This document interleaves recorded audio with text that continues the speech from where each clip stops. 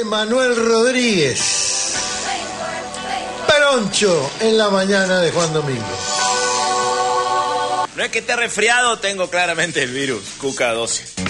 Javier Milei logró ayer imponer su agenda y desviar la atención del asado de la crueldad en Olivos cuando publicó un video realizado con IA, las siglas de ineficiencia autoritaria, involución artificial, ignorancia avanzada, idiotez administrativa. En el video, el kirchnerismo es comparado con un virus apocalíptico llamado QK12 y varias personas que los libertarios, y solamente los libertarios, consideran kirchneristas, aparecen como zombies. Según el video, Sergio Massa y Alberto Fernández serían kirchneristas. Quiero decirles algo, muchachos. eh, no somos tantos. ¿eh? Ojalá fuéramos todos los que ustedes dicen que somos y ojalá fuéramos la mitad de lo hijo de puta que dicen ustedes que somos. La mitad nomás. El tema es que si nosotros somos zombies y todos los que no piensan como Milei son zombies, los únicos no zombies serían los libertarios. Se entiende que los zombies comen cerebros. O sea que en el apocalipsis zombie que se imagina Milei, también nos cagaríamos de hambre. Ya imagino que yo, zombie, me toca comerle el cerebro al pelotudazo de mi vecino Jorge que se compró una casa con el Procrear, que se compró un auto con el Procreauto, que mandó a su hijo a la universidad pública, que se jubiló con una moratoria de Cristina, pero votó a Milei porque estaba cansado de los planeros. Y me recontra cago de hambre. ¿Qué le como? Por cierto, hoy mi amigo Rubio Peronista, a quien le mando un abrazo, encontró entre sus archivos un video de mi primer show en Buenos Aires.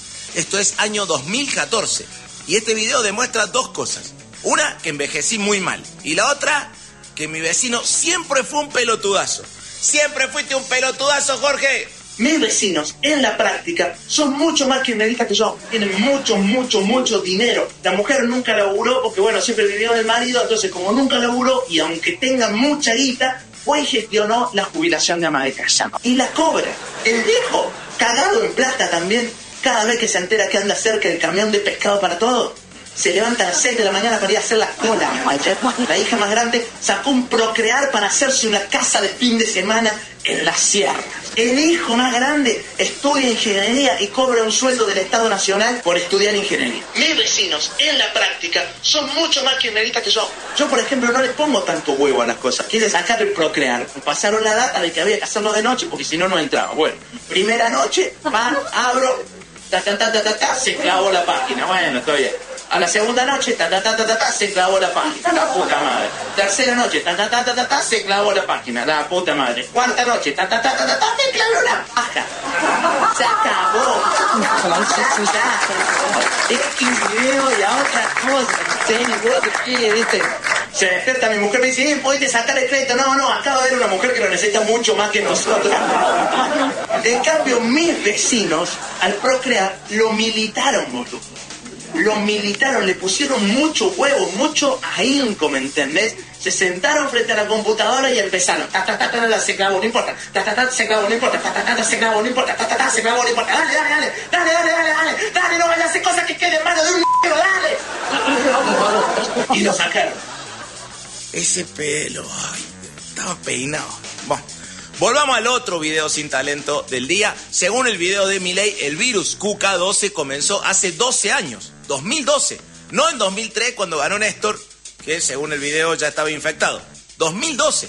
Pusieron la fecha con la misma precisión histórica con la que afirman que el comunismo viene gobernando la Argentina hace 500 años gracias a mil años de peronismo durante 5.000 años de decadencia kirchnerista, ¿no? El video sostiene que este virus destruyó la Argentina y las mentes de los infectados. El virus, según la narración, ha debilitado su poder y los sobrevivientes que resistieron el contagio ahora tienen esperanza con el león, símbolo de Milei. Yo nunca vi un león con papada, nunca vi un león que se quede pelado, ni nunca vi un león que se coja a la hermana, pero como no sé de leones, mejor no opino. Además, el idiota que tenemos como presidente se promociona como león, pero no les dice a sus votantes que sus votantes ya quedaron del lado de las gacelas. Y si sí te das cuenta de que quedaste del lado de las gacelas es porque te infectaste del virus QK12, un virus que al parecer se contagia en el acto de pensar distinto, o directamente de pensar. La libertad que te vendieron es un tenedor libre de ajuste y represión. Toda la represión y todo el ajuste que quieras. No hay otra cosa en el menú. pero podés elegir toda la que quieras, ¿eh? De lo que hay, Sentite libre. El gobernador bonaerense y futuro presidente de los argentinos, Axel Kicillof, denunció que Milei está promoviendo el odio y que el video es incompatible con la democracia y además señaló que las metáforas de virus y enfermedad se han usado históricamente para justificar atrocidades. También advirtió que este tipo de discursos pone en riesgo la convivencia democrática. Le respondieron que lo van a matar, que lo van a pasar a buscar en un falcón verde, que los milicos se quedaron cortos que hay que matar a todos los cucas y que ellos no son ningunos fascistas autoritarios. Es un alivio saber que los que proponen pasar a buscar a Kisilov en un Falcon Verde también aclaran que no son fascistas. Solo son, bueno, fanáticos de los autos clásicos. Igual no tenga miedo, ¿eh? Hace nueve meses que no hay obra pública, no hay una sola calle bacheada. Con, el estado de la calle no creo que el Falcon llegue sano. El fascismo siempre baja la calidad de la discusión política. A esto ya lo dijimos varias veces en este espacio. En 2014 estábamos discutiendo la soberanía energética y la soberanía espacial nos bajaron tanto la calidad de la discusión política que ahora estamos discutiendo si somos o no somos zombies. Milei defendió el video como una alegoría de la resistencia contra un sistema que él considera corrupto y decadente. Y afirmó que su mensaje busca despertar leones y liberar a los argentinos de lo que él percibe como una opresión del kirchnerismo. No es un video nazi, es mi lucha. El plan viene bárbaro, ¿eh? Nos liberaron de la opresión del salario en dólares más alto de la región. Nos liberaron de la opresión del calendario de vacunación más amplio del mundo. 19 vacunas gratuitas. Nos liberaron de la opresión de la cobertura de medicamentos del PAMI. Nos liberaron de la opresión de ver fútbol gratis. Nos liberaron de la opresión de tener que poner en blanco a la empleada doméstica. Nadie duda de que Javier Milei es el gran libertador, el San Martín de los hijos de puta. El Bolívar de Wall Street, Simón Boludo, José de San FMI, el Nelson Mandela de los fondos buitre. El uso de una metáfora biopolítica como la del virus para deshumanizar a opositores crea un discurso que promueve el odio y la polarización. El video es tan nazi que ya ganó el Festival de Cine de Villa General Belgrano. No le pusieron la esvástica solo porque ningún libertario entendió el taller de dibujar esvásticas. El video de Milei no propone hacer jabón con nosotros solo porque Milei también odia al jabón. Goebbels le dijo a Conan que el video le gustó un montón. Pasás el video cerca de un libro y el libro se quema solo. La diferencia con el macrismo es que el macrismo quería una gestapo sindical y los libertarios sintieron que la palabra sindical los limitaba. Querés hacer un meme con el video y te sale un memenguele. El mensaje presidencial reduce al adversario a una enfermedad que debe ser eliminada de ser el cáncer del país, ahora pasamos a ser un virus zombie que destruye mentes. Una enfermedad diagnosticada, por supuesto, por un doctor honoris causa de la Universidad Venegas Lynch. Re serio todo. Además, esta narrativa, ponele, neoliberal y ultralibertaria, ataca la solidaridad social al sostener que quienes apoyan al kirchnerismo lo hacen por intereses o por ser mentes débiles. Te dice mente débil este señor. No entiendo cómo tienen tanto odio por el cine y al mismo tiempo tanto amor por la proyección. Como dice el amigo Rocco Carbone, los zombies son ellos, emergieron del caos pandémico, lo saben y proyectan sobre nosotros su poder fascista. Igual hay que reconocer que no son zombies clásicos, no comen cerebros, comen jubilaciones, comen derechos laborales, comen salarios, comen empresas públicas. El video de Milei busca transformarnos a sus adversarios políticos en cuerpos contaminados. En tanto cuerpos contaminados, nuestra eliminación simbólica y real quedaría justificada. En las redes, el video fue tendencia. Es cierto, el virus KUKA12 fue tendencia en Twitter, pero en ambos casos para contar con orgullo cómo nos habíamos infectado. Yo me infecté cuando Néstor bajó los cuadros de los genocidas. Yo me infecté cuando mi vieja llegó a su primera casa propia. Yo me infecté cuando me pude jubilar. Yo me infecté con la ley de discapacidad. Yo me infecté con el Programa Nacional de Lectura. Yo me infecté cuando fui la primera de mi familia en llegar a la universidad. Yo me infecté cuando recuperamos IPF. Yo me infecté en la pelea contra el campo. Lo sucedido fue hermoso, notable. De repente, lo no deseado en el cuerpo político, lo que quiere ser excluido y eliminado, se convierte en deseo, en narrativa de orgullo. El virus QK12 es el único virus que, en vez de enfermarte, te llena de energía. Milei quiso construir un enemigo y nos amigó con todos los que estamos de este lado. A partir de la identificación de un supuesto virus, generaron un anticuerpo contra ellos mismos. Este gobierno habrá desfinanciado la ciencia y la investigación, pero ya largó su primera vacuna. Gracias, Javo. Sin darte cuenta, ayudaste a reactivar la memoria histórica de los logros kirchneristas. Lo que pretendía ser una infección terminó siendo una fiesta nacional de vacunados con beneficios sociales. El insulto se convirtió en un homenaje. Y es algo que Milei no puede hacer con los insultos hacia él.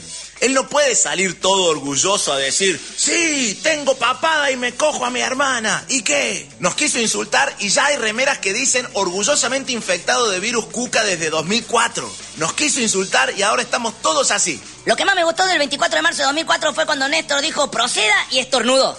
Ahí me debe haber contagiado. La estrategia fue fallida porque Milei se cree el león que viene a librarnos de un virus. Pero Logros del virus, 17 universidades, 2.500 escuelas, repatriación de científicos, remedios gratis en el PAMI, computadoras, libros, salarios altos. Logros del león, un asado para festejar que hambrean jubilados. ¿Sabe qué? Déjame enfermo de este virus cuca nomás. Más vale, con el virus cuca se vivía mejor. El gobierno amenaza con privatizar aerolíneas argentinas para frenar las protestas del gremio aeronáutico el gobierno sin amenazas es como Hitler sin el bigotito. irreconocible. Mauricio Macri olió la sangre y afiló los colmillos. Insistió en privatizar aerolíneas y criticó privilegios insostenibles de los gremios de pilotos, mecánicos y tripulantes de cabina. Esos privilegios consistirían en comer. Docentes universitarios convocan al paro y movilización del 23 al 25 de septiembre y anuncian nuevas medidas de fuerza el 26, 27 de septiembre y el 2 de octubre por salarios y defensa de la universidad pública. La respuesta del gobierno será, por supuesto, privatizar la universidad pública. Obvio. La desocupación aumentó al 7,6% y afecta a 1.734.000 personas, según el INDEC, con 383.000 nuevos desocupados el último mes. El gobierno desmintió que no tenga respuesta para los 12.000 nuevos desocupados por día en la Argentina. El gobierno sí tiene una respuesta los acusa de ser ñoquis. Gustavo Petro criticó a Milei por la represión a jubilados en Argentina y denunció el maltrato con gases y bastonazos a los ancianos. Javier Milei ya está preparando un video de IA con Petro, zombie infectado con la variante paisa del virus Cuca-12. Javier Milei está viajando por sexta vez a los Estados Unidos este año para asistir a la Asamblea General de Naciones Unidas en Washington. Parece que la idea de privatizar aerolíneas fue en realidad para no caer con las manos vacías sería como de mala educación, una descortesía. Luis Petri le prestó el rompehielos almirante Irizar a Megatron para una masterclass de gimnasia. La fantasía porno gay de Luis Petri es así. O sea, si hay que romper el hielo, usamos un barco del ejército. no es de la Armada, perdón. Nuestra soberanía en la Antártida no tiene custodia en este momento, pero nadie puede negar que en el almirante Irizar hay entrenamiento. Unión por la Patria repudió el uso del rompehielos almirante Irizar para eventos privados y denunció políticas de privatización y desguace estatal por parte del gobierno nacional. Luis Petri dijo que va a responder mañana desde la nueva casa de Ronald McDonald que se inaugura en Campo de Mayo. La cordobesa que creía que los chistes sobre la avenida Córdoba en Buenos Aires eran chistes contra Córdoba, la provincia, Soer El Zucaría, usó vacantes de la Defensoría del Público para nombrar a allegados sin experiencia, según denunció el diputado Pablo Carro. Soer, la defensora del público, ya respondió que son infamias porque su sobrino de 17 años supo jugar de defensor en el Club Universitario de Córdoba. O sea, tiene experiencia en defensoría. Axel Kisilov dio una clase pública en la Universidad de las Madres tras el veto de Milei al aumento del presupuesto universitario. Axel es lo opuesto de Milei. Da clases en una universidad pública junto a la madre de Plaza de Mayo y tiene un perro que está vivo. El Parlamento Europeo reconoció a Edmundo González Urrutia como presidente legítimo de Venezuela, pero en una resolución no vinculante. Es como cuando le dicen doctor a Javier Milei. No es vinculante.